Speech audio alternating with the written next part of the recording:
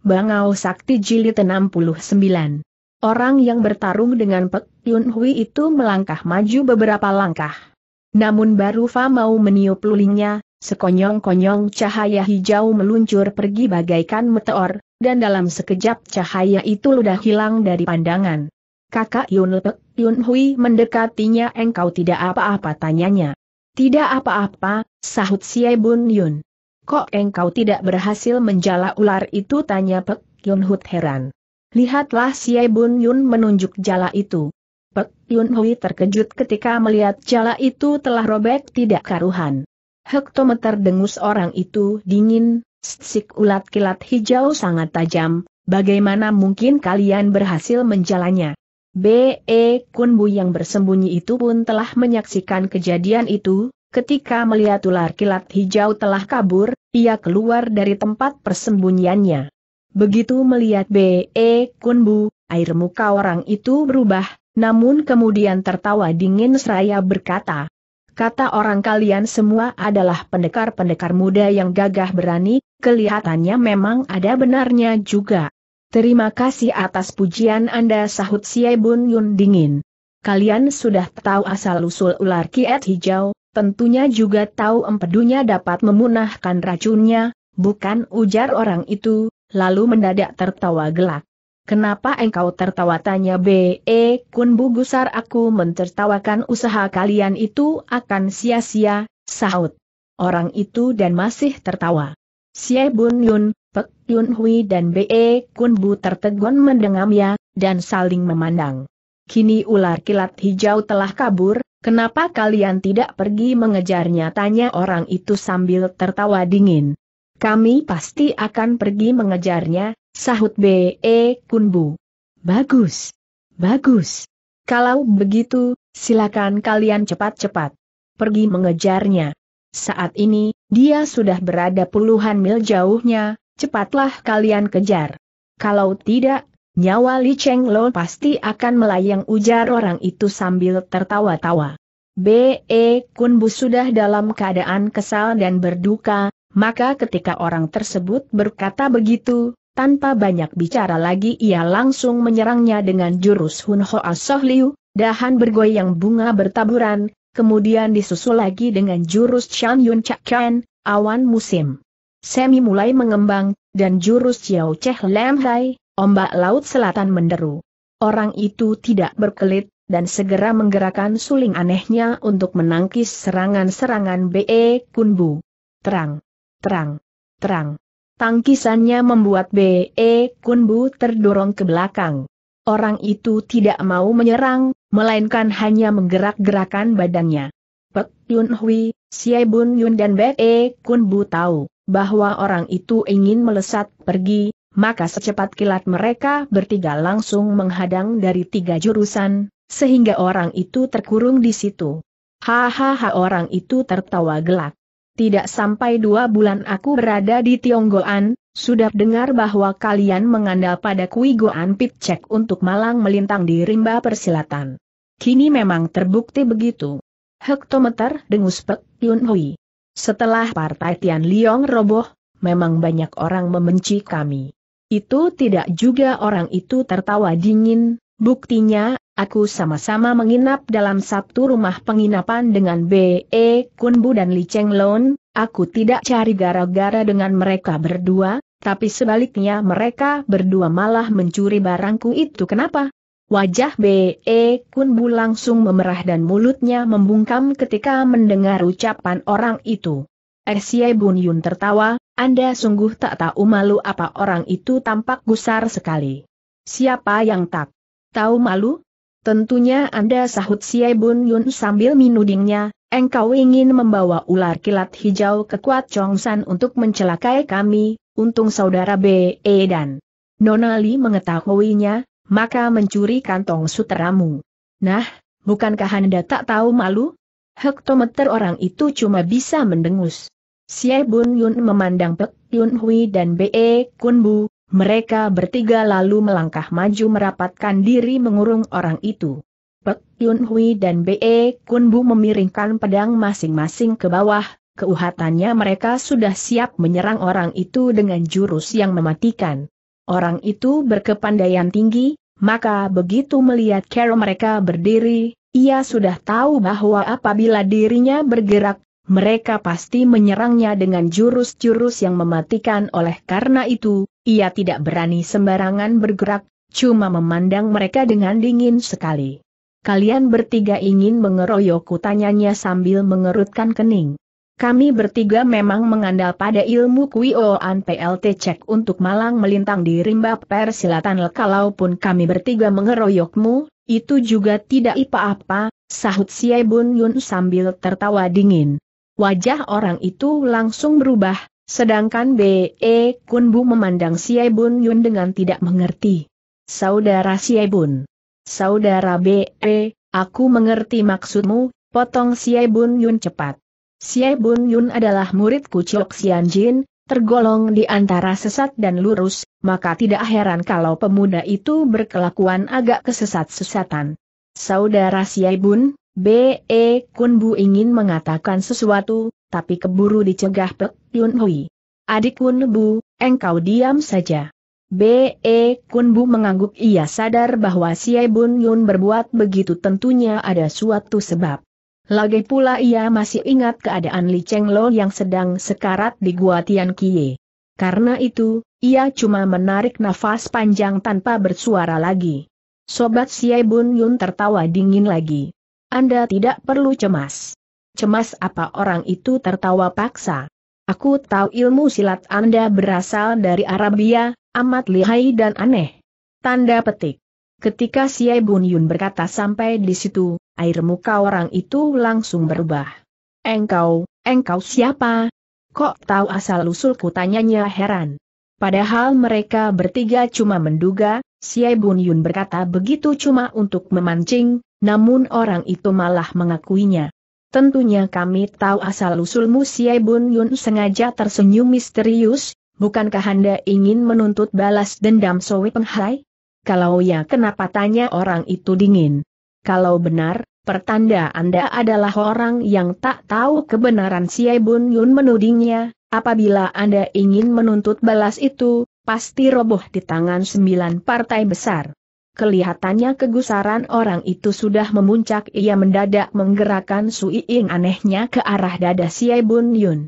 Akan tetapi, di saat bersamaan, Pek Yun Hui membentak nyaring sambil menyerang punggungnya sedangkan Siai Bun Yun sama sekali tidak bergerak, malah tersenyum-senyum sambil memandang orang itu. Karena mendengar ada desiran di belakangnya, maka orang itu langsung menggerakkan suling anehnya ke belakang, namun Pek Yun Hui telah merubah jurusnya.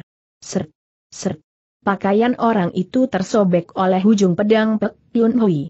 Orang itu berdiri tertegun di tempat, sedangkan Pek Yun Hui menyurut mundur sambil tersenyum dingin. Kalau engkau ingin bertempur dengan kami, Malam ini engkau pasti jadi mayat di tempat ini ujar Siai Bun Yun sambil tersenyum. HML dengus orang itu. Tahukah engkau ilmu pedang apa yang paling iih tanya Siai Bun Yun mendadak. Ilmu pedang Sin Hap Kiam sahut orang itu. Nona Pe ini telah mencapai tingkat itu, mampukah engkau menangkis ilmu pedang itu tanya Siai Bun Yun sambil tersenyum-senyum belum tentu tidak mampu sahut orang itu dengan air muka berubah. Berarti engkau tidak berani memastikannya. Ya, kan Siai Bun Yun menatapnya. Orang itu diam dan tampak tertegun. Mau apa kalian mengurung diriku tanyanya kemudian dengan kening berkerut. Kami ingin menasihatimu dan sekaligus menghendaki bantuanmu sahut Siai Bun Yun. Oh, haha orang itu tertawa katakanlah. So Penghai bisa roboh begitu, itu karena ulahnya sendiri ujar Siai Bun Yun perlahan. Mengenai kematiannya di Gunung Altai Taisan, itu masih merupakan suatu teka-teki. Engkau jangan omong kosong bentak orang itu. Apakah engkau menganggap kami yang membunuhnya? Tanda tanya-tanya Siai Bun Yun. Tidak salah siapa? Na Xiao Tiap. Engkau dengar dari siapa? Aku dengar dari ucapan orang itu berhenti mendadak lanjutkan desak Siai Bun Yun. Orang yang memberitahukan padaku itu, melarangku menyebut namanya, maka aku tidak mau melanggar janji lanjut orang itu. Mungkinkah Soe Hong? Pikir Siai Bun Yun. Kalau benar dia, kenapa harus melarang orang itu menyebut namanya itu berarti bukan So Wei Hong? Lalu siapa? Apakah Cho Hyong?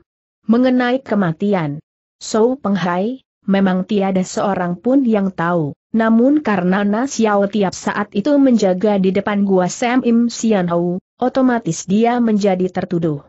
Sedangkan Cho Hyong memberitahukan pada orang itu, bahwa Na Xiao Tiap yang membunuh So Penghai, tentunya ada kaitan pula dengan Cho Hyong, kini Pek Yun Hui, B.E. Kunbu dan Siai Bun Yun telah berpikir sampai di situ. Sekalipun engkau tidak menyebutkan aku pun sudah tahu siapa orang itu ujar Siai Bun Yun. Oh orang itu mengerutkan kening, bagaimana engkau bisa tahu? Tentunya aku tahu sahut Siai Bun Yun serius. Jangan membual. Coba katakan kalau kau tahu orang itu melotot. Haha Siai Bun Yun semakin yakin bahwa orang yang memberitahukan itu pasti Cho Hyong, aku tidak perlu beritahukan. Kita cukup tahu dalam hati saja. Cepat beritahukan desak orang itu. Baik Siai Bun Yun manggut-manggut, orang itu bernama Cho Hyong. Setelah Siai Bun Yun menyebut nama tersebut, wajah orang itu tampak berubah. Bagaimana Siai Bun Yun tertawa, tidak salahkan hektometer dengus orang itu, tadi engkau masih kelihatan. Ingin mengatakan sesuatu, katakanlah. Kalau engkau tidak menyelidiki secara jelas tentang kematian Soi Penghai, sebaliknya malah mau berniat menuntut balas, itu akan berakibat fatal bagimu, ujar Siai Bun Yun sungguh-sungguh, Mengenai kematian Soi Penghai dan ke mana pula Na Xiao Tiap, hanya Li Cheng Lo yang bisa menjelaskan padamu. Sungguh orang itu mengerutkan kening. Tentunya sungguh sahut Siai Bun Yun sambil tertawa, engkau tidak bisa melawan kami, untuk apa aku membohongimu? Oh air muka orang itu terus berubah tak menentu, engkau masih ingin mengatakan apa lagi? Mungkin engkau belum tahu bagaimana perlakuan Li Cheng Lo terhadap orang, bukan Siai Bun Yun menatapnya. Aku sudah mendengar, dia seorang gadis yang berhati polos dan bajik sahut orang itu. Itulah sebabnya kami ingin minta bantuanmu ujar Siai Bun Yun, selamatkan nyawa Li Cheng Lon, kami pasti berterima kasih padamu. Bahkan engkau pun akan mengetahui tentang kematian So Peng Hai. Ular kilat hijau telah kabur, maka aku tidak bisa bantu apa-apa, sahut orang itu sambil menggelengkan kepala. Apakah engkau tidak membawa empedu ular itu tanya Siai Bun Yun. Engkau kira begitu gampang menangkap ular kilat hijau orang itu tertawa dingin, kami tahu cara menangkap ular itu dari leluhur, tiga generasi menurun, cuma dapat menangkap dua ekor, jadi bagaimana mungkin aku membawa empedu ular itu? Asal engkau bersedia membantu, kita boleh pergi mencari ular itu selapet Yun Hui. Bukankah engkau tahu bagaimana cara menangkapnya? Omong kosong orang itu tertawa dingin, dia mati atau hidup ada urusan apa denganku? Tutup mulutmu bentak B.E. Kun Bu Gusar. Maaf ucap orang itu. Aku mau mohon diri, harap kalian minggir. Eh Siai Bun Yun menatapnya, engkau mau pergi ke mana? Aku mau pergi ke mana? Itu urusanku, engkau tidak perlu tahu sahut orang itu dingin. Sekalipun engkau tidak bilang aku pun sudah tahu ujar Siai Bun Yun serius. Oh orang itu mengerutkan kening, engkau tahu aku mau pergi ke mana?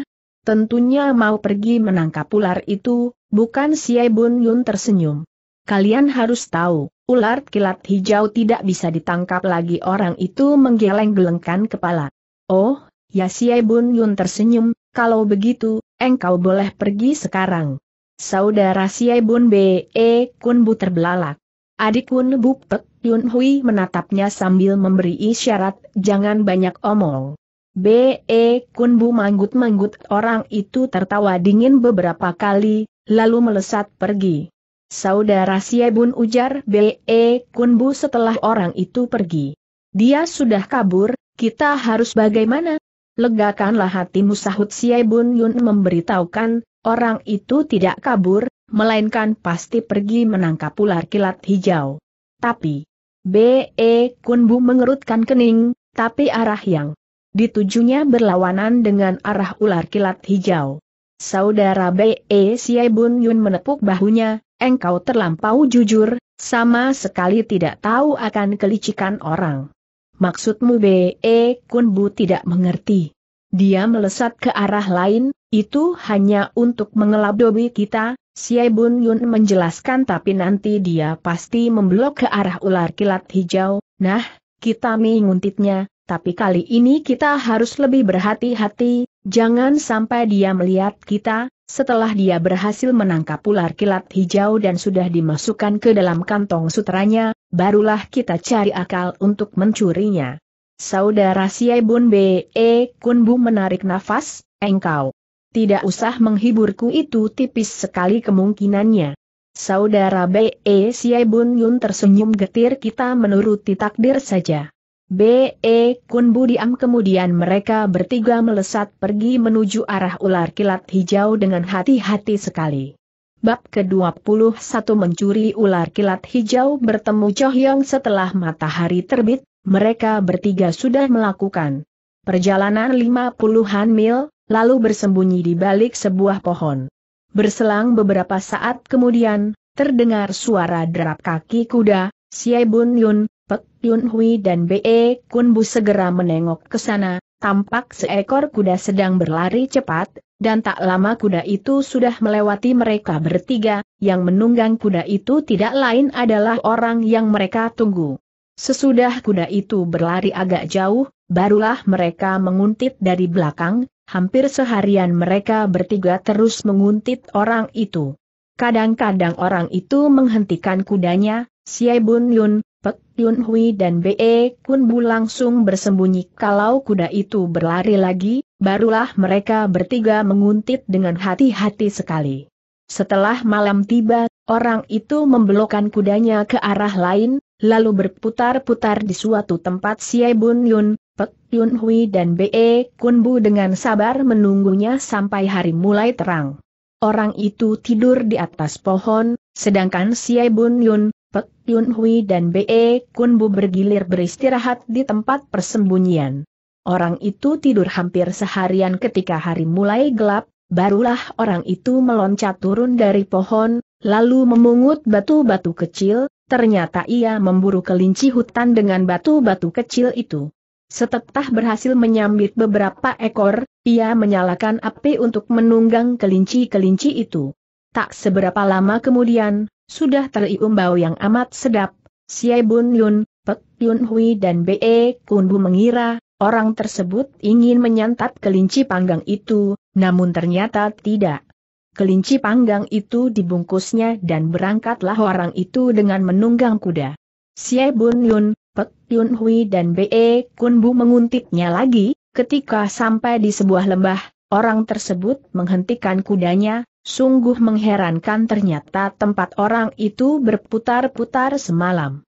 Orang itu meloncat turun dari punggung kuda lalu menambatkan kudanya di sebuah pohon, setelah itu ia membawa kelinci panggangnya ke depan sebuah gua kecil. Siai Bun Yun, Pek Yun Hui dan B.E. Kun Bu mulai tegang ketika melihat ia berhenti di depan gua kecil tersebut.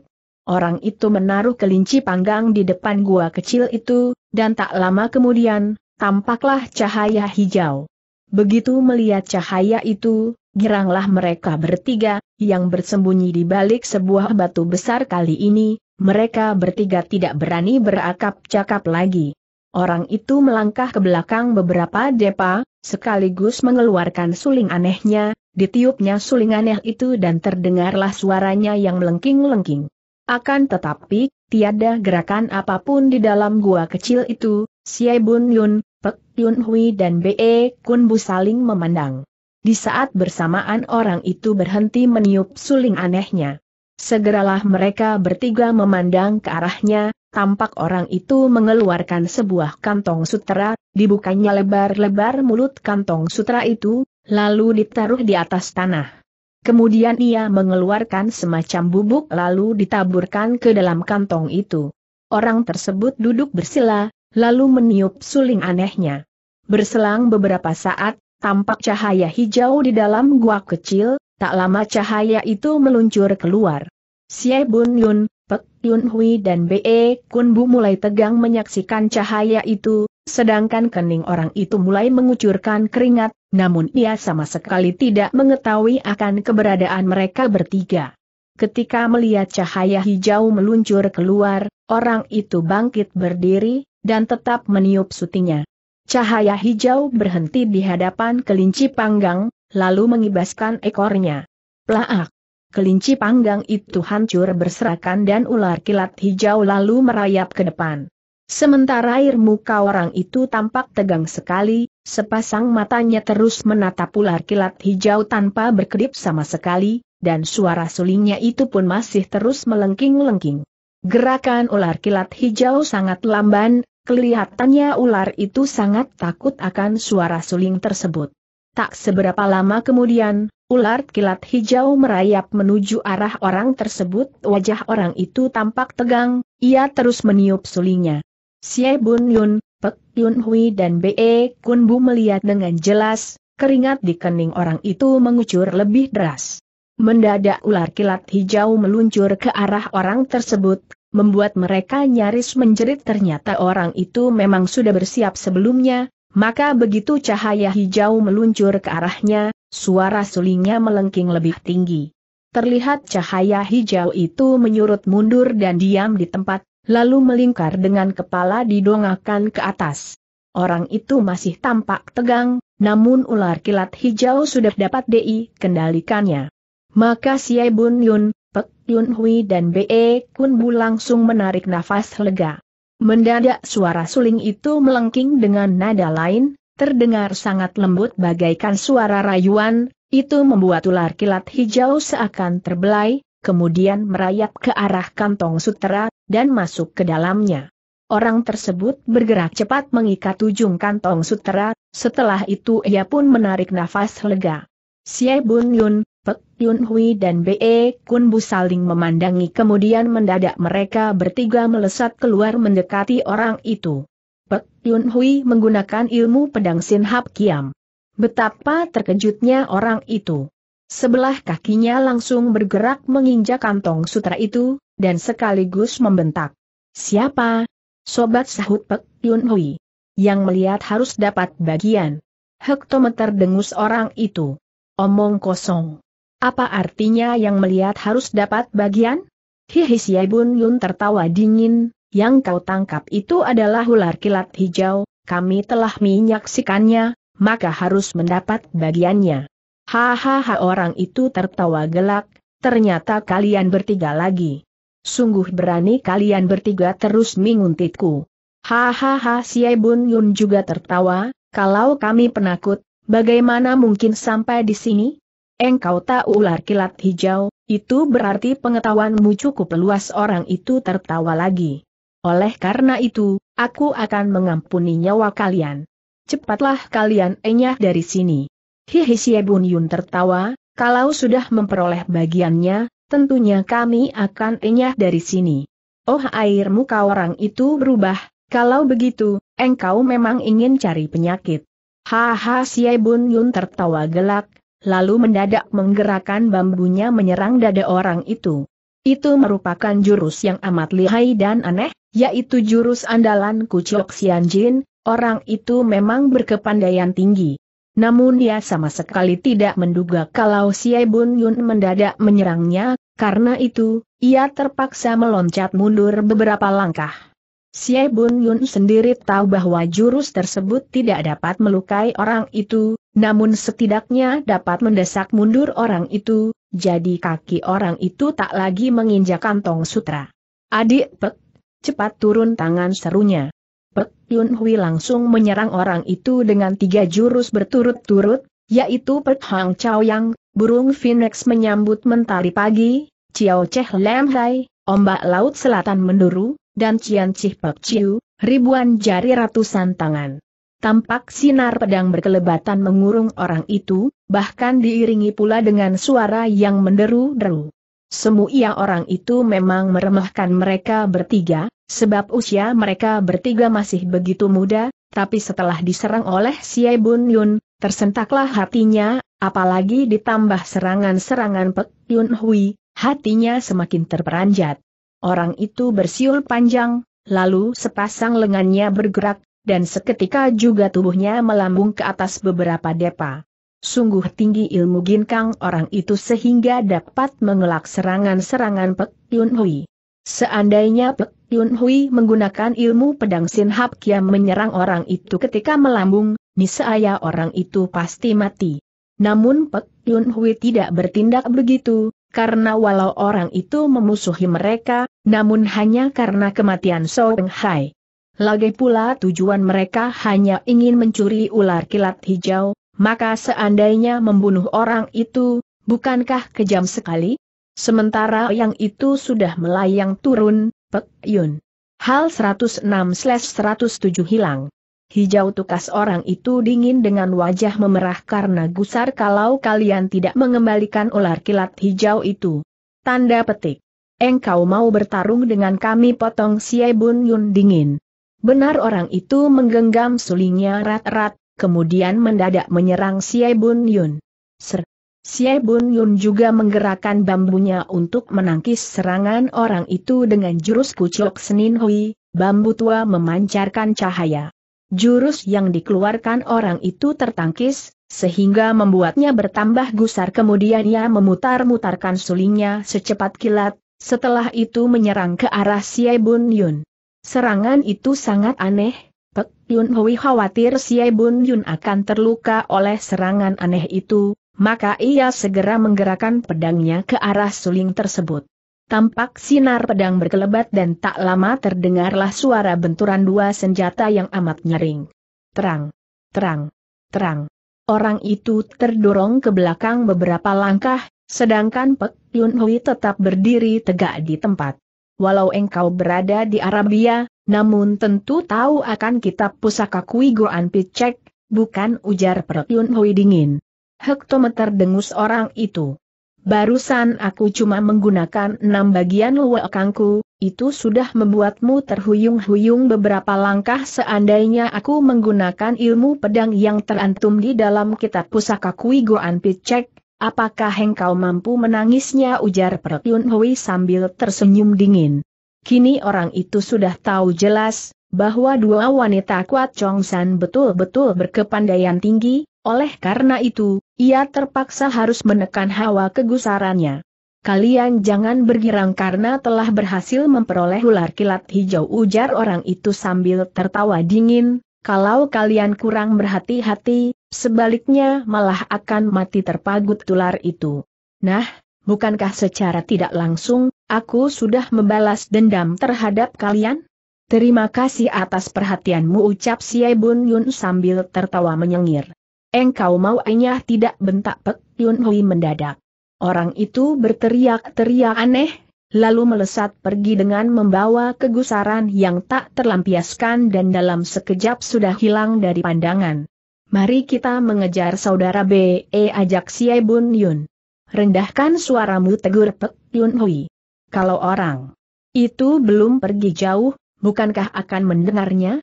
Dia sudah kabur terbirit-birit, bagaimana mungkin kembali lagi sahut Siai Bun Yun sambil tertawa, dia sangat takut pada ilmu pedang Sin Hap Kiamu itu. Eh wajah Pek Yun Hui kemerah-merahan, sudah mulai pandai merayu ya. Aku tidak merayu, Siai Bun Yun tersenyum. Mereka berdua lalu melesat mengejar Bek E Kunbu.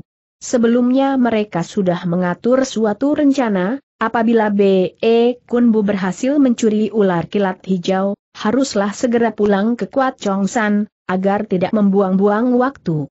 Oleh karena itu, Siai Bun Yun dan Pek Yun Hui pun menempuh jalan yang menuju ke Kuat Chongsan walau mereka sudah menempuh dua puluhan mil, tapi masih tidak tampak B.E. Kunbu. Oleh karena itu timbullah rasa heran dalam hati mereka. Adik Pek, apakah saudara B.E. telah menemui sesuatu tanya Siai Bun Yun dengan wajah cemas. Itu, Yun Hui tersentak mungkin dia mati-matian mengerahkan ginkangnya, agar lekas-lekas sampai di Kuat Chong San, maka kita tertinggal jauh, sampai di Gua Tian Kie, kita pasti bertemu dia. NGMMM Siai Bun Yun manggut-manggut, mereka berdua segera mengerahkan ilmu ginkang menuju Kuat Chong San kenapa Siai Bun Yun dan Pek Yun Hui tidak bertemu Be Kun Bu? Apa yang telah terjadi setelah B.E. Kunbu berhasil mencuri ular kilat hijau? Setelah B.E. Kunbu berhasil mencuri kantong sutra yang berisi ular kilat hijau, dapat dibayangkan betapa girangnya hati B.E. Kunbu, karena nyawa Li Chenglong akan tertolong dengan empedu ular tersebut. Oleh karena itu, sesuai rencananya, ia langsung kembali ke Kuat Chongsan, setelah menempuh belasan mil, ia menoleh ke belakang untuk melihat apakah Xie Bun Yun dan Pek Yun Hui sudah menyusulnya atau belum. Namun karena B.E. Kunbu dengan mereka berdua berjarak kira-kira 5 mil, tentunya B.E. Kunbu tidak melihat mereka, seandainya ia menunggu sejenak, kemungkinan besar akan bertemu dengan mereka.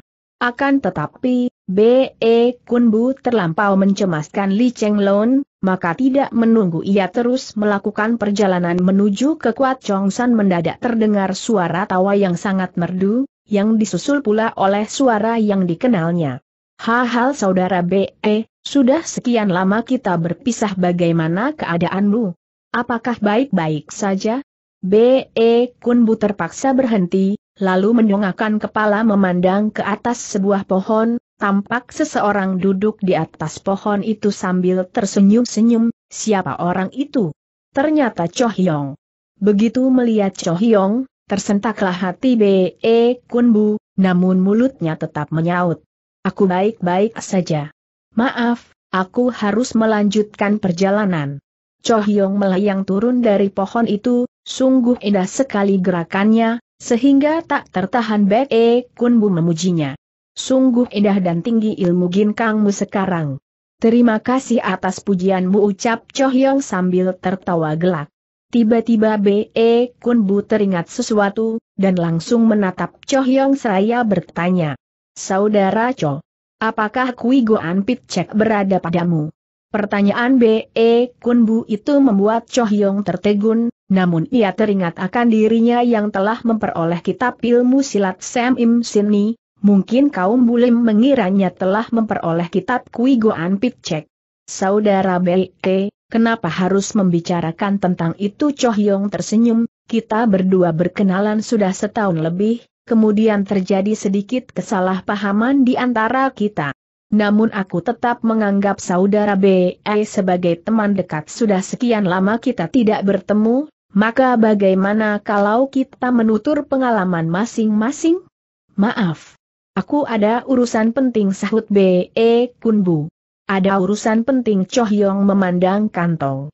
Sutera yang di tangan B.E. Kunbu. Eh, saudara B.E., engkau membawa apa? Seekor ular yang sangat beracun, jawab B.E. Kunbu memberitahukan ia adalah pemuda jujur, sama sekali tidak bisa berbohong, maka ia memberitahukan secara jujur. Cho Hyong memang pernah bertemu dengan pemilik ular kilat hijau, orang itu pun memberitahukan tentang ular tersebut, oleh karena itu, Cho Hyong memfitnah Nasiao Tiap yang membunuh Soi Penghai, bahkan dibantu Pek Yun Hui dan lainnya, akan tetapi, Cho Hyong tidak pernah melihat ular tersebut, cuma pernah melihat kantong sutra itu. Begitu B.E. Kunbu memberitahukan bahwa yang dibawanya adalah seekor ular yang sangat beracun. Cho Hyong lalu berpikir ke sana. Oh, ular itu pasti ular kilat hijau, bukan tanya Cho Hyong dengan air muka berubah. Benar, B.E. Kunbu mengangguk. Saudara B.E. Cho Hyong menarik nafas panjang. Engkau masih mujur bertemu aku. Maksudmu tanya B.E. Kunbu heran. Harap saudara B.E. ikut aku sebentar ajak Cho Hyong. Kenapa aku harus mengikutimu B.E. Kunbu? Mengerutkan kening, adik klon sedang menunggu pertolonganku. Hati Cho Hyong langsung berdebar, tapi wajahnya justru tampak serius. Kalau begitu, engkau memang harus ikut aku. Kalau tidak, Nonali tidak akan tertolong, ujarnya, ia memang licik dan banyak akal busuknya. B.E. Kunbu berpikir dan tertegun, orang itu adalah saudara seperguruan Soi Penghai, sedangkan Cho Hyong adalah murid Soi Penghai, otomatis Cho Hyong adalah murid keponakan orang itu, mungkin Cho Hyong tahu jelas tentang ular kilat hijau. engkau mau mengajakku ke mana tanya B.E. Kunbu kemudian. Tidak lewat dari satu mil, sahut Chohyong tersenyum. Baik, B.E. Kunbu mengangguk kalau lewat satu mil. Aku akan pergi. Tentu, Chohyong tertawa gelak. Chohyong memang berotak cerdas, namun disalahgunakannya ia tadi melihat B.E. Kunbu menoleh ke belakang seakan menunggu orang, karena itu ia ingin memancing B.E. Kunbu ke tempat lain dengan sikap bersungguh-sungguh, sehingga B.E. Kunbu yang jujur itu memperayainya. Chohyong melesat ke arah kiri, dan B.E. Kunbu mengikutinya, tak sampai setengah mil, Pek Yun Hui dan Xie Bun Yun sudah tiba di tempat itu. Kalau B.E. Kun Bu tidak bertemu Cho Hyong, sudah pasti akan bertemu mereka berdua. B.E. Kun Bu terus mengikuti Cho Hyong, namun ia merasa heran sekali, sebab ia telah mengerahkan ginkangnya, tapi tidak bisa menyusul Cho Hyong, tak seberapa lama kemudian. Cho Hyong berhenti. Engkau mau bicara apa padaku? Bicaralah lujar B.E. Kun Bu yang telah berhenti beberapa depa di belakangnya. Haha Chohyong tertawa, saudara B.E., entah berapa waktu yang lalu aku bukan tandinganmu kini aku yakin kepandaianku telah maju pesat, maka ingin mohon petunjuk padamu. Chohyong bentak B.E. Kun Bugusar, engkau mengajakku kemari cuma karena urusan ini? Tentu tidak Le Chohyong tersenyum, sebab masih ada urusan lain yang berkaitan dengan ular kilat hijau, namun aku harus mencoba kepandaianku denganmu, setelah itu barulah ku beritahukan tentang ular itu. Maaf sahut B.E. Kunbu dingin, aku justru tidak mau bertarung denganmu. Kita tidak bertarung, hanya bergebrak beberapa jurus saja, ujar Chohyong sambil tertawa. Lebih baik lain hari saja, sahut B.E. Kunbu sambil melesat pergi. Tunggu bentak Chohyong sambil bergerak, dan tahu-tahu sudah berada di sisi B.E. Kunbu. Sebetulnya engkau menghendaki apa tanya B.E. Kunbu gusar. Aku tidak menghendaki apa-apa, hanya ingin bergebrak beberapa jurus denganmu saja, sahut Chohyong sambil tersenyum lembut. Hektometer dengus B.E. Kunbu. Apakah engkau kira bisa menjadi seorang jago setelah mempelajari Kui Goan Pitchek itu? Saudara B.E. Chohyong tersenyum lagi. Aku tidak berpikir begitu. Kalau begitu, aku ingin segera pergi, ujar B.E. Kunbu. Saudara B.E. Chohyong menatapnya, engkau boleh menaruh kantong sutra yang berisi ular kilat hijau itu ke bawah. Aku tidak akan mengambilnya sebab aku mau mulai menyerang, agar ular itu tidak kabur. Engkau sungguh pandai berpikir, B.E. Kunbu menatapnya. Tentu, Cho Hyong tertawa gelak karena engkau adalah teman dekatku, maka aku harus berpikir demi dirimu. Sudahlah, jangan banyak omong kosong BE Kunbu menaruh kantong sutra itu di atas sebuah batu, kemudian ujarnya pada Cho Hyong, kita bertanding dengan tangan kosong atau dengan senjata? Harap saudara BE menghunus peda, NG sahut Cho Hyong. Baiklah, B.E. Kunbu mengangguk sambil menghunus pedangnya, engkau pun harus menggunakan senjata. Tentu, sahut Cho Hyong. Ia tertawa panjang, tangannya bergerak, tahu-tahu sudah menggenggam sebuah senjata yang berbentuk aneh mirip sebatang jarum. Eh B.E. Kunbu terperangah, senjata apa itu? Hahaha Cho Hyong tertawa terbahak-bahak ini adalah senjata peninggalan Sam Im Sin yakni Teng Tian Sin Chin, jarum sakti pengokoh langit. Itu adalah senjata pusaka, engkau harus berhati-hati menyimpannya, ujar B.E. Kunbu. Terima kasih atas perhatian saudara B.E., ucap Chohyong dan tertawa lagi. Engkau pun harus ingat, di luar langit masih ada langit, di atas gunung masih ada gunung, ujar B.E. Kunbu mengingatkannya, jangan takabur. Saudara B.E. harus tahu, aku sudah punya peraturan sendiri, Chohyong memberitahukan siapa yang berani mengincar senjataku ini, nanti mati di ujung senjataku ini pula. Sungguh bermulut belarang kawi B.E. Kunbu tertawa ongin. Tidak berani, lahut Chohyong, lalu mendadak menggerakkan senjatanya. Seketika juga B.E. Kunbu merasa matanya jadi selau, sepertinya sedang menghadapi sinar matahari terik, sehingga membuatnya nyaris memejamkan matanya, setelah itu, ia pun menyurut mundur beberapa langkah. Hal-hal Chohyong tertawa gelak, lalu menggerakkan senjatanya lagi mengarah pada tenggorokan B.E. Kunbu. Sungguh aneh dan cepat gerakan itu, B.E. Kunbu cepat-cepat menangkis dengan jurus Chan Yun Chakan, awan musim semi mulal mengembang. Terang. Terdengar suara benturan senjata yang memekakan telinga. Bukan main terkejutnya B.E. Kunbu, sebab merasa telapak tangannya yang menggenggam pedang itu sakit sekali karena itu, ia segera mengeluarkan ilmu Gao Heng Mi Chong Pu. Seketika ia hilang dari pandangan Cho Hyong, dan tahu-tahu sudah berada di belakangnya. Cho Hyong tahu bahwa B.E. Kunbu telah mengeluarkan ilmu langkah ajaib itu, namun ilmu tersebut tidak terantum dalam kitab ilmu silat Sam Im Sini. Oleh karena itu, Cho Hyong tidak mampu memecahkan ilmu tersebut. Hektometer dengus Cho Hyong dingin, kenapa saudara B.E. jadi pengecut, tidak berani menghadapiku? B.E. Kunbu bergerak secepat kilat, dan tahu-tahu sudah berada di hadapan Cho Hyong, di saat bersamaan, Cho Hyong menggerakkan senjatanya menyeiang B.E. Kunbu. B.E. Kunbu mengeluarkan jurus Hun Hoa Soh Liu, dahan bergoyang bunga bertaburan, untuk menang es. Akan tetapi, mendadak Cho Hyong merubah jurusnya, bahkan terus-menerus menyerang B.E. Kunbu dengan jurus-jurus yang sangat lihai dan aneh.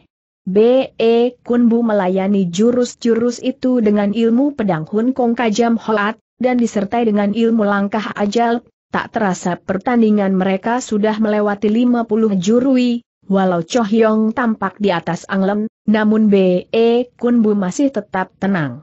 Menyaksikan itu, timbullah kegusaran Cho Hyong, semula ia berpikir pasti dapat merobohkan B.E. Kunbu dalam waktu singkat, karena ia memiliki senjata pusaka, juga telah mempelajari semua ilmu silat Sam Im.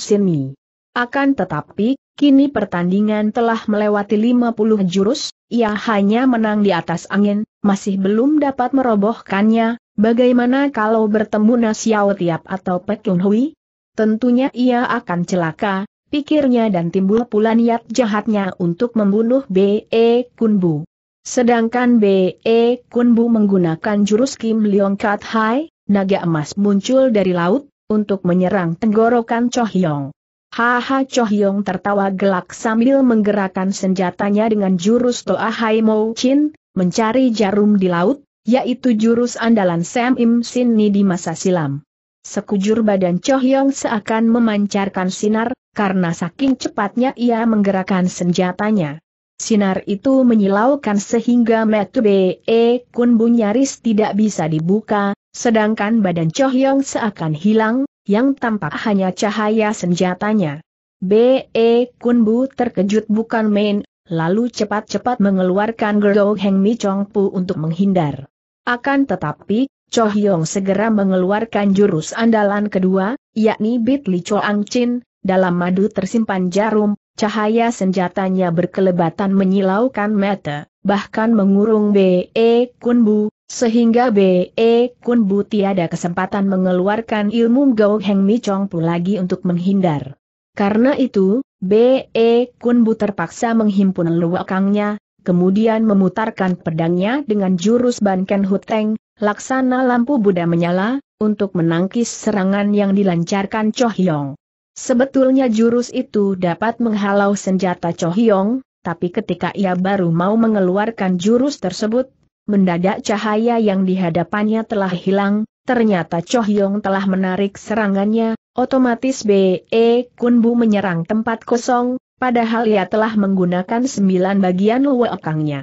Pada waktu bersamaan, Cho Hyong mengeluarkan jurus ketiga, ternyata Sam Im Sini memiliki tiga jurus andalan, Kini Cho Hyong mengeluarkan jurus ketiga itu, Chin Kian Hiat, setiap jarum tampak darah, yaitu jurus yang paling lihai dan aneh, sebab jurus itu terdiri dari beberapa sabetan dan tusukan.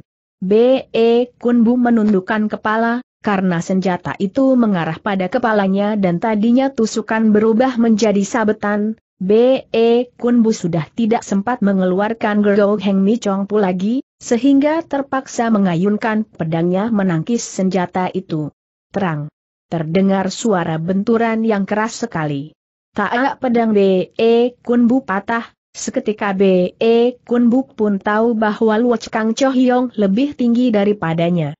Maka ia mengambil keputusan untuk kabur, sebab masih menyangkut nyawa Li Cheng Lon. Setelah mengambil keputusan tersebut, ia pun ingin melesat ke arah batu tempat ia menaruh kantong sutranya. Tapi Choh Yong terus-menerus menyerangnya, itulah sebabnya ia harus melayaninya dengan berhati-hati sekali, dan ternyata dengan pedang kutung itu ia masih bisa bertahan sampai belasan jurus. Akan tetapi, justru membuatnya tiada kesempatan untuk kabur tiba-tiba B.E. Kunbu melihat senjata di tangan Choh Yong berkelebatan memancarkan cahaya, lalu mengarah padanya. B.E. Kunbu berupaya menangkis senjata itu, tapi mendadak terdengar suara tawa di belakangnya. Haha. Di saat bersamaan, B.E. Kunbu juga merasa Kit Chua Hiat, Tian Chong Hiat, Hun Hun Hiat, dan beberapa jalan darah penting di punggungnya telah tertotok ujung senjata Choh Yong. B.E. Kunbu terhuyung-huyung lalu terkulai, kebetulan agak dekat dengan batu tempat ia menaruh kantong sutera, karena itu, ia berupaya meraih kantong itu. Di saat itu, terdengar suara plak. Ternyata senjata Choh Yong menghantam lengannya. Saking sakitnya B.E. Kunbu nyaris pingsan seketika, sehingga tangannya tidak mampu meraih kantong sutra. Sambil tertawa gelak Choh Yong menyambar kantong itu, kemudian menatap B.E. Kun Bu seraya berkata, Apakah saudara B.E. masih tidak mau mengaku kalah B.E. Kun Bu tidak menyahut, melainkan bangkit berdiri. Ketika melihat B.E. Kun Bu masih mampu bangkit berdiri, air muka Yong pun tampak berubah. Karena ia tadi telah berhasil menotok tujuh jalan darah penting di punggungnya, seharusnya B.E. Kun bulu kaparah tak mampu bergerak saat ini. Namun nyatanya B.E. Kun Bu masih mampu bangkit berdiri. Oleh karena itu, tanpa sadar Choh Yong menyurut mundur dua langkah, pada waktu bersamaan, B.E. Kun Bu merasa matanya berkunang-kunang dan badan bergoyang-goyang, akhirnya jatuh duduk di tanah. Setelah melihat B.E. Kunbu jatuh duduk, Choh Yong tersenyum sambil menarik nafas ega. Saudara B.E. ujar Choh Yong dengan suara dalam, tahukah engkau, sudah berapa lama aku menunggu saat-saat ini? Kalau engkau ingin membunuhku, silakan turun tangan bentak B.E. Kunbu.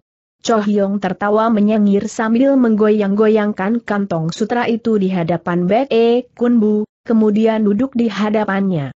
Saudara B.E., kenapa engkau begitu tegang Choh Yong menatapnya sambil tersenyum. Betapa gusarnya B.E. Kunbu, akhirnya ia memejamkan matanya tidak meladangi Choh Yong. Mendadak ia teringat bahwa ular kilat hijau yang di dalam kantong sutra itu, kini sudah berada di tangan Choh Yong, sedangkan dirinya telah terluka, dan tanpa empedu ular kilat hijau, nyawa Li Cheng Lon takkan tertolong. Teringat akan itu, B.E. Kunbu menghela nafas panjang. Hatinya terasa sakit sekali sehingga tanpa sadar air matanya meleleh. Haha Choh Yong tertawa gelak, orang bilang engkau adalah pendekar yang gagah, namun buktinya engkau seperti banci, belum mati sudah begitu ketakutan sampai mengeluarkan air mata. Omong kosong bentak B.E. Kunbu sambil melotot aku punya urusan lain yang sangat mencemaskan hatiku, bukan dikarenakan takut mati. Oh, hahaha Choh Yong tertawa terbahak-bahak benar. Benar. Sebab engkau merasa berat meninggalkan beberapa gadis yang cantik jelita. Na Xiao Tiap, Pek Yun Hui dan Li Cheng Lon. Haha. Engkau sungguh romantis, sudah mendekat ajal masih memikirkan gadis-gadis itu. Engkau. Wajah B.E. Kunbu pucat pias saking. Gusarnya. Kenapa aku? Bukankah aku cukup baik menemanimu di sini? Hahaha Choh Yong tertawa gelak lagi. Engkau pun harus mati dengan rasa bahagia, karena beberapa gadis itu akan berkabung untukmu. Bab ke-22 muncul seorang wanita muda berpakaian putih. Ketika Cho Hyong sedang tertawa, B.E. Kunbu terus-menerus memandangnya, membuat Cho Hyong terengang. Eh, kenapa engkau memandangku dengan care begitu tanyanya sambil mengerutkan kening. Cho Hyong, aku punya satu permintaan, sahut B.E. Kun. Bu. Oh Cho Hyong tertegun katakanlah apa per. Mintaanmu. Sumoiku kena racun ular kilat hijau, hanya dapat dipunahkan dengan empedu ular kilat hijau Pu Ia B.E. Kunbu memberitahukan kini dia masih dalam keadaan pingsan engkau mau membunuhku tidak jadi masalah bagiku, tapi aku harap engkau bersedia mengantar ular kilat hijau itu ke Gua Tian Kiai untuk menolong Li Cheng Lon. Saudara B.E. Chohyong tertawa, bukankah itu merupakan permintaan yang berlebihan? Maksudmu? Kini engkau sudah sekarat, apabila Li Cheng Lo juga mati, bukankah kalian akan bertemu di alam baka? Nah, otomatis aku telah mempertemukan kalian ujar Cho Hyong sambil tertawa terbahak-bahak. Engkau. B.E. Kunbu sama sekali tidak menyangka. Kalau Cho Hyong begitu tak berperasaan dan kejam di saat ia hampir mati, Cho Hyong masih terus-menerus menyakiti hatinya. Saudara B.E. Chohyong memandangnya dengan wajah berseri apabila kalian bertemu di alam baka, entah kalian masih saling mencinta tidak? B.E. Kunbu tidak menyahut ia hanya memejamkan matanya. Chohyong tertawa panjang, ketika ia ingin membuka mulut mengatakan sesuatu, mendadak dari tempat yang tak begitu jauh, mengayun suara wanita yang dingin sekali. Asal saling mencinta dengan bersungguh-sungguh dan segenap hati bertemu di mana pun pasti saling mencinta. Ketika mendengar suara itu, B.E. Kunbu dan Cho Hyong tampak tertegun dan B.E. Kunbu pun langsung membuka matanya. Cho Hyong segera bangkit berdiri tampak sosok bayangan putih melayang-layang mendekati mereka. Setelah agak mendekat, barulah Cho Hyong dan B.E. Kunbu melihat jelas, Ternyata dia seorang wanita muda, berpakaian putih seperti dia rawat sungguh cantik wanita. Muda itu, tapi wajahnya sedingin es siapa yang melihatnya pasti merasa dingin pula. B.E. Kunbu dan Chohyong mengenali wanita muda itu. Siapa dia? Tidak lain adalah Liong Giokpin yang telah diusir dari pintu perguruan Partai Kunlun Suci, kakak seperguruan, cepat pergi seru B.E. Kun. Bu. Liong Giokpin memandang B.E. Kunbu. Kenapa aku harus pergi tanyanya? B.E. Kunbu tahu jelas, kepandaian Liong Giokpin masih. Di bawah kepandaiannya, kini gadis itu muncul begitu mendadak, tentunya Cho Hyong tidak akan melepaskannya, maka ia menyuruhnya cepat pergi. Ketika Liong Giokpin bertanya begitu, B.E. Kunbu jadi melongot, sedangkan gadis itu tidak menghiraukannya, malah memandang Cho Hyong. Tatapan yang dingin dan penuh diliputi dendam itu, membuat Cho Hyong berdebar-debar, namun mengingat kepandaiannya sudah begitu tinggi, maka ia jadi tenang kembali. Cho Hyong tanya Liong Giokpin setelah menatapnya lama sekali apakah engkau masih mengenalku? Wah Cho Hyong tertawa, satu malam jadi suami istri, selamanya takkan terlupakan. Ucapan itu membuat sekujur badan Liong Giokpin gemetar dan wajahnya yang dingin itu menjadi pucat pias saking gusarnya. Nona Liong Chohyong tersenyum sudah lama kita tak bertemu, selama ini engkau ke mana? Selama ini. M wajah gadis itu tampak berseri aku selalu teringat akan kebaikanmu karena itu aku mencari suatu benda. Langkah untukmu, kebetulan kita bertemu di sini, jadi aku tidak usah mencarimu sampai ke ujung langit lagi. Cho Hyong tahu, bahwa Liong Giok sangat membencinya sampai ke tulang sumsum, maka ucapannya pun berbalik dari sesungguhnya, namun Cho Hyong yang licik itu, justru malah tertawa-tawa. Nona Liong, benda pusaka apa pun masih tidak bisa dibandingkan dengan dirimu. Alangkah baik engkau menghadiahkan dirimu untukku saja. Diriku sudah lama kuserahkan padamu, namun engkau justru telah menyia-nyiakannya, sahut Liong Giokpin, kemudian tertawa terkekeh. Oh, ya Cho Hyong tersenyum, maka kini dirimu tetap milikku. Tidak salah, Liong Giokpin tertawa terkekeh lagi, lalu mengeluarkan sebuah kantong kecil dari dalam bajunya, entah apa isinya. B.E. Kunbu memanfaatkan kesempatan sementara Cho Hyong berakap cakap dengan Leong Giokpin untuk menghimpun hawa murninya, otomatis membuat tenaga murninya pulih sedikit. Eh Cho Hyong memandang kantong kecil yang di tangan Leong Giokpin. Apa itu? Bersusah payah aku mencari ini, sahut Leong Giokpin sambil tersenyum, benda ini, entah engkau mau tidak, Bagaimana mungkin aku menolak hadiah dari Cho tertawa gelak. Kalau begitu. Liong Giok Pin tertawa terkekeh sambil melempar kantong kecil itu ke arah Cho Hyong kuberikan. Padamu. Mendadak kantong kecil itu terbuka di saat melayang ke arah Cho seketika berkelebat cahaya kuning, dan sekaligus mengeluarkan suara ngung, tampak seekor makhluk terbang, meluncur laksana kilat mengarah pada Cho Hyong. Cho Hyong segera meloncat mundur, menggerakkan senjatanya Teng Tian Sin Chin untuk melindungi diri.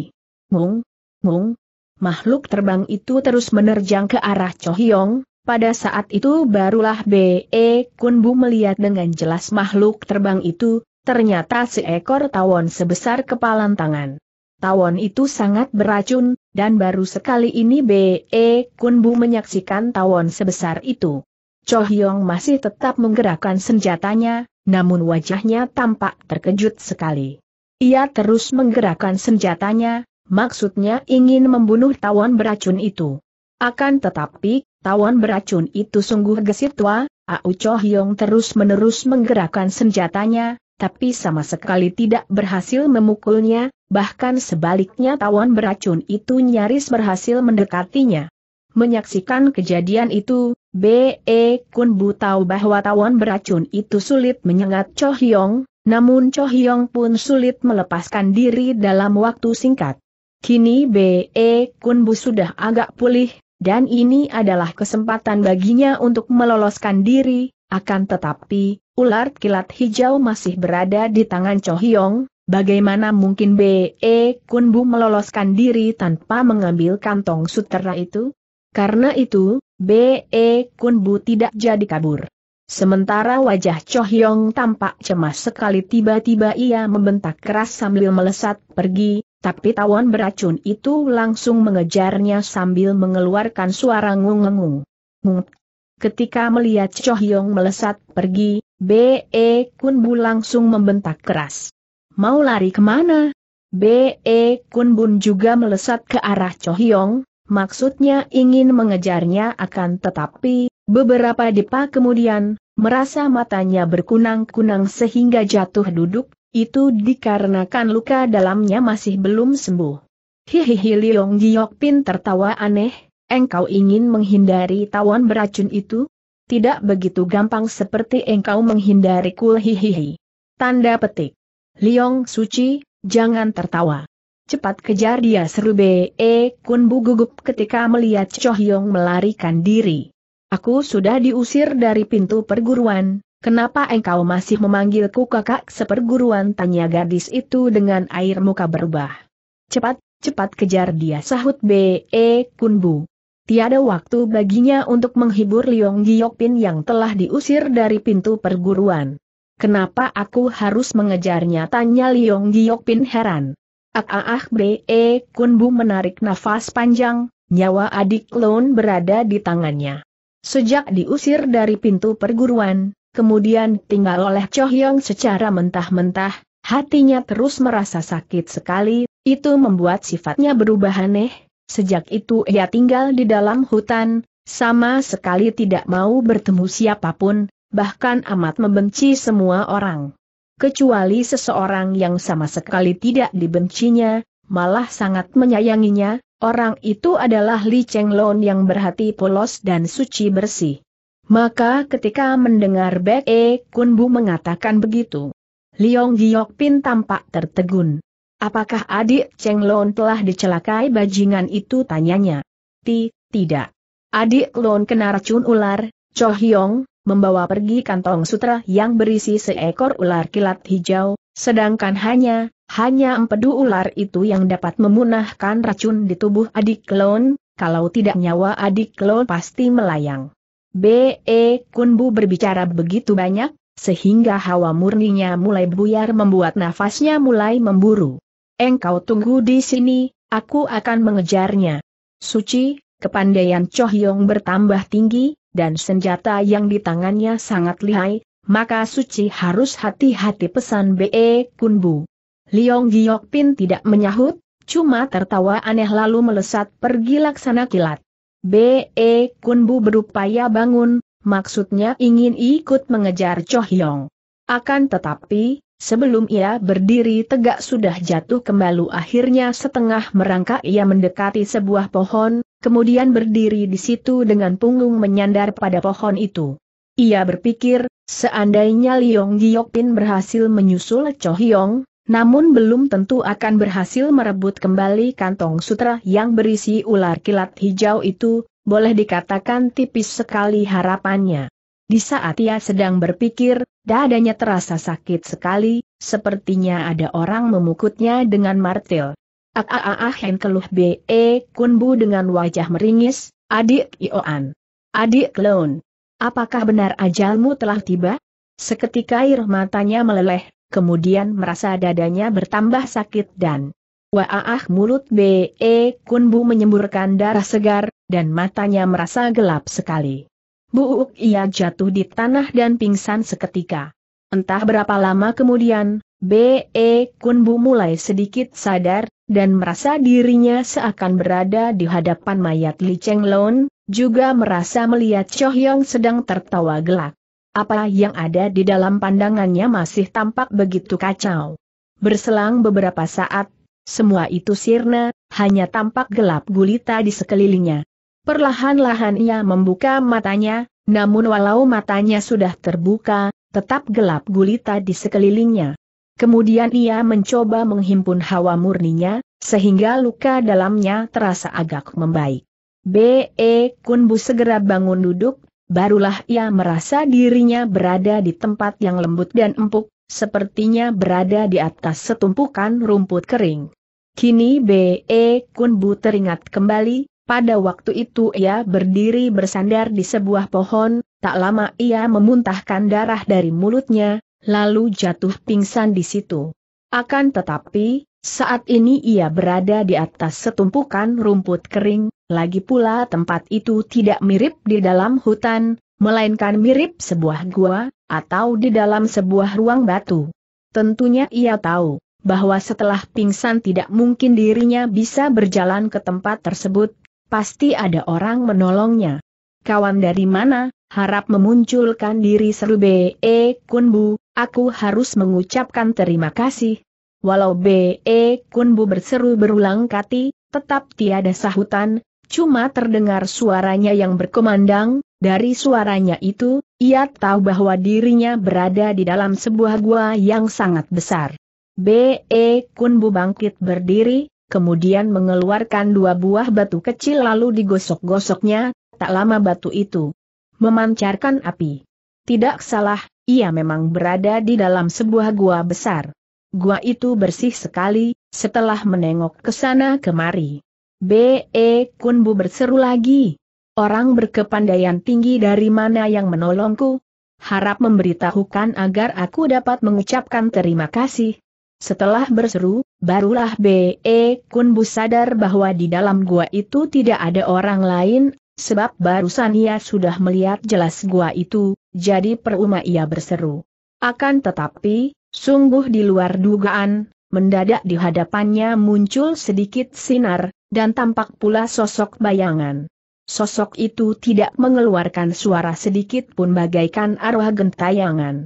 Semu Abe Kunbu memang terkejut sekali, tapi kemudian teringat akan kaum bulim yang bersifat aneh, lagi pula dirinya telah ditolong, kenapa harus merasa takut?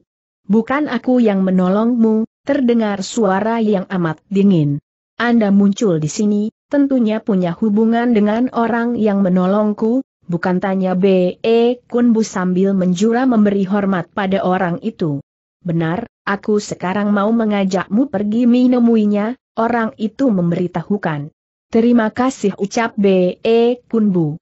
Orang itu berjalan pergi, dan B.E. Kunbu mengikutinya dari belakang, B.E. Kunbu tahu, bahwa orang itu tidak keluar, melainkan ke dalam. Saat ini, B.E. Kunbu masih memikirkan keadaan Li Cheng Lon, sehingga timbul pula rasa cemas dalam hatinya, sedangkan orang itu masih terus berjalan ke dalam, setelah melewati beberapa tikungan, B.E. Kunbu bertanya. Kawan ini tempat apa dan apakah masih jauh ke tempat orang yang menolongku itu? Orang itu tidak menyahut ia terus berjalan tanpa mengeluarkan suara sedikit pun. Karena orang itu tidak menyahut, B.E. Kunbu merasa tidak enak bertanya lagi. Orang itu tidak memaksanya pergi, melainkan ia yang mau pergi menemui orang yang telah menolongnya. Berselang beberapa saat kemudian, mendadak tampak cahaya terang di depan, tampak pula sebutir mutiara sebesar telur ayam menempel di dinding gua. Mutiara itulah yang memancarkan sinar, kemudian ketika B.E. Kunbu melihat sebuah pintu tertutup rapat di ujung lorong, orang tersebut berkata, Orang yang menolongmu berada di dalam ruang itu, silakan masuk sendiri.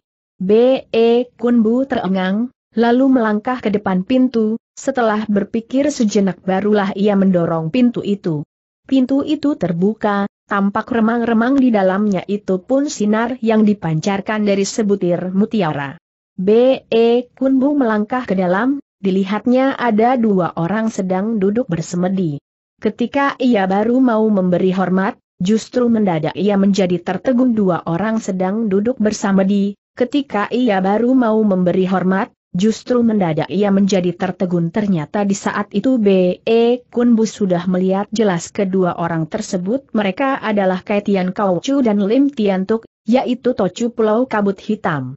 B.E. Kunbu sama sekali tidak menyangka kalau akan bertemu kedua orang itu di dalam gua tersebut ia pun tahu bahwa yang menolongnya adalah kedua orang itu sementara Kaitian Kaucu sudah membuka matanya, lalu memandang B.E. Kun Bu Seraya tertawa, B.E. Xiao Hiap, orang hidup selalu bertemu, padahal B.E. Kun Bu sudah menyaksikan kedua orang itu terluka parah oleh senjata Pek Yun Hui. Namun saat ini suara Kaitian Kau Chu begitu lantang dan nyaring, pertanda lukanya itu telah sembuh. Terima kasih atas pertolongan Kau Chu ucap B.E. Kun Bu sambil senyum paksa, maaf, Aku mau mohon diri. Haha Kaitian Kaucu tertawa gelak, B. E. Xiao Hiap, tempat ini adalah gua aneh yang berada di dalam perut gunung.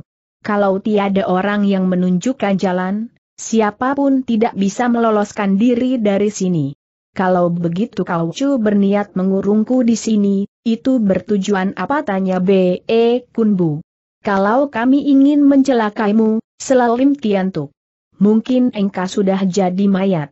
Benar B.E. Kunbu mengangguk karena itu, aku mengucapkan terima kasih pada kalian berdua, tapi karena aku masih punya urusan penting, maka tidak bisa lama iama di sini.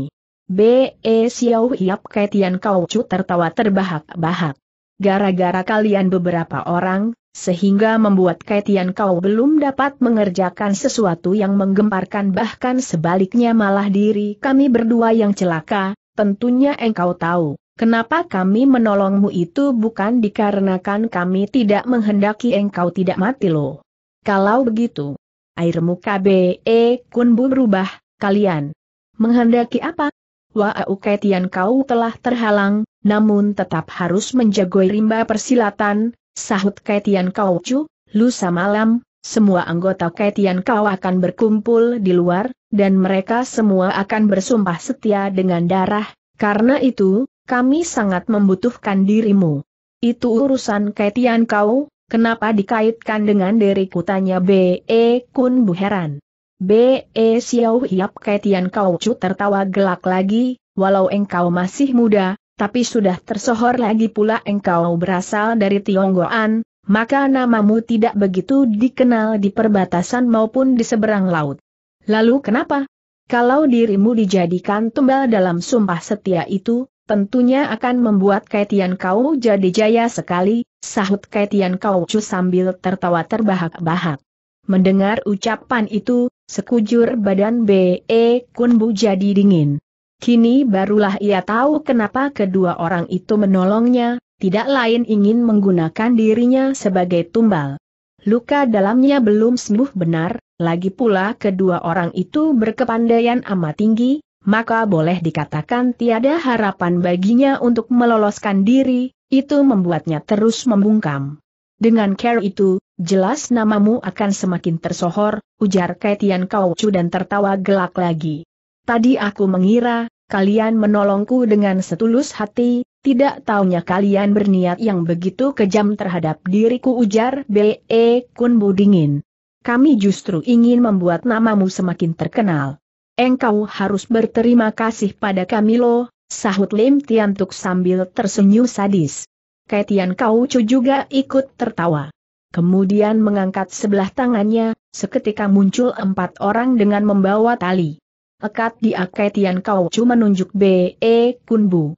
Kurung dia di dalam ruang batu. Ya sahut keempat orang itu serentak, lalu mendekati B.E. Kunbu. Mendadak B.E. Kunbu melancarkan dua buah pukulan walau luka dalamnya belum sembuh benar, namun kedua pukulan itu cukup dahsyat. Tampak terpental dua orang, itu membuat Lim Tiantuk gusar sekali dan membentak. Engkau masih berani bertingkah? Apakah harus dihajar dulu? B.E. Kunbu tidak menyahut, malah melesat pergi secepat kilat akan tetapi, di saat bersamaan, merasa ada tenaga yang sangat dahsyat menghisap dirinya dari belakang, sehingga membuat badannya terhisap mundur. B.E. Kunbu berusaha menghimpun tenaga murninya untuk melawan, namun tenaga hisapan itu bertambah kuat, sehingga badannya terus terhisap ke belakang. Hahaha Kaitian Kaucu tertawa gelak. B.E. Kunbu terkejut bukan main, sebab leng tai hiatnya telah terengkeram oleh tangan Kaitian Kaucu itu membuat sekujur badannya terasa sakit sekali dan lemas tak bertenaga hektometer dengus Kaitian Kaucu. B. E. Xiao Hiap, lebih baik engkau terima nasib saja. B. E. Kunbu menoleh, ia tidak melihat Kaitian Kaucu, hanya melihat Lim Tiantuk yang sedang menatapnya dengan bengis sekali. Akhirnya B. E. Kunbu menarik nafas panjang, selain menerima nasib, apa yang dapat diperbuatnya? Ekat di Akaitian Kaucu memberi perintah pada keempat orang itu. Kali ini B.E. Kunbu tidak melawan, membiarkan badannya diikat setelah itu, ia digotong pergi, terdengarlah suara tawa gelak Kaitian Kaucu dan Lim Tiantuk. B.E. Kunbu digotong ke dalam sebuah lorong yang gelap, dan setelah belok sini, belok sana, barulah B.E. Kunbu ditaruh ke bawah. Tempat apa ini tanya B.E. Kunbu. Sebetulnya mau kalian apakan diriku? Tadi kau cu bilang apa padamu salah seorang dari mereka balik bertanya. B. E. Xiao Hiap, engkau memang harus menerima nasib, sambung yang lain. Di sini adalah gua aneh, apabila engkau ingin melarikan diri, engkau pasti akan mati kelaparan atau mati terpagut tular beracun yang di dalam gua ini salah seorang yang lain lagi memberitahukan. Ah ah keluh B. E. Kunbu. Setelah keempat orang itu pergi, B.E. Kunbu mulai menghimpun hawa murninya, setelah itu, barulah ia menengok ke sana kemari, dan akhirnya menarik nafas panjang lagi. Tiba-tiba ia teringat apa yang dikatakan Kaitian Kaucu, yakni lusa malam dirinya baru akan dijadikan tumbal, berarti masih punya kesempatan bagi dirinya. Kalau begitu, harus mencoba mengobati lukanya dengan cara menghimpun hawa murninya. Apabila ia bisa pulih enam tujuh bagian, bukankah pada waktu itu ia masih bisa mengadu nyawa dengan Kaitian Kaucu dan Lim Tian Tuk? Setelah berpikir demikian Beci Kunbu terus menerus menghimpun hawa murninya. Bab ke-23 terpedaya oleh rayuan gombal. Sementara Liong Giokpin yang mengejar Cho Hyong sudah menempuh perjalanan hampir tujuh mi satu. Akan tetapi ia sama sekali tidak menemukan jejaknya. Ia tahu, tawon beracun yang dilepaskannya itu, kalau mengejar sesuatu yang hidup, harus sampai dapat menyengatnya. Oleh karena itu, Liong Giokpin yakin bahwa Cho Hyong tidak akan begitu gampang meloloskan diri dan masih dikejarnya. Setelah menempuh beberapa mil lagi, mendadak ia mendengar suara ngung. Ngung, betapa girangnya Liong Giokpin ia langsung saja melesat ke tempat itu. ia melihat cahaya putih berkelebatan tampak pula tawon beracun itu melayang-layang di situ sambil mengeluarkan suara ngungungan. Liong Giokpin berhenti tak jauh dari tempat itu, dan Cho Hyong sudah melihat kehadirannya. Sejak dikejar-kejar tawon beracun itu, Cho Hyong sama sekali tidak pernah berhenti memutar-mutarkan senjatanya. Namun demikian beberapa kali ia nyaris tersengat. Memang sungguh gesit sekali tawon beracun itu ia mampu menghindari sambaran-sambaran senjata pusaka Chohyong, padahal Chohyong banyak akalnya, tapi kali ini merasa kewalahan menghadapi tawon beracun itu. Ketika melihat Liong Giokpin, kegusarannya langsung memuncak namun wajahnya tampak berseri-seri. Kakak Liong, apakah engkau ingin menangkap kembali tawonmu ini serunya? Bagaimana mungkin aku akan menangkapnya kembali sahut Leong Giokpin dingin itu memang khusus untuk mencabut nyawamu. Oh Yong tersenyum manis, kalau begitu, untuk apa engkau kemari? Choh Yong. Engkau adalah orang yang telah berlumuran dosa bentak Leong Giokpin, namun sebelum engkau mati, engkau masih boleh berbuat suatu kebaikan. Haha Choh Yong tertawa, kakak Leong telah salah paham padaku. Engkau tidak perlu banyak omong bentak Liong Giok Pin lagi. Kakak Liong senyuman Choh Yong semakin manis, engkau menghendaki aku berbuat kebaikan apa? Cepat lemparkan kantong sutra itu padaku sahut Liong Giok Pin cepat. Choh Yong manggut-manggut, kini ia sudah tahu apa sebabnya Liong Giok Pin mengejarnya, ternyata demi kantong sutra yang berisi ular kilat hijau itu. Kakak Liong, engkau harus tahu, Ujar Chohyong memberitahukan kantong sutra ini berisi ular yang sangat beracun untuk apa engkau minta kantong ini? Tidak ada urusan dengan musahut Leong Giok Pin sengit kalau engkau menghendaki agar aku melempar kantong. Sutra ini padamu, itu, gampang sekali, Chohyong tertawa. Tapi engkau harus menangkap kembali tawon beracun itu. Air muka Leong Giok Pin langsung berubah, ia justru ingin membunuh Cho Hyong dengan tawon beracun, tetapi sekarang Cho Hyong menyuruhnya agar menangkap tawon itu kembali. Kalaupun engkau tidak mau menangkapnya kembali aku pun tidak akan tersengat tapel, kenapa?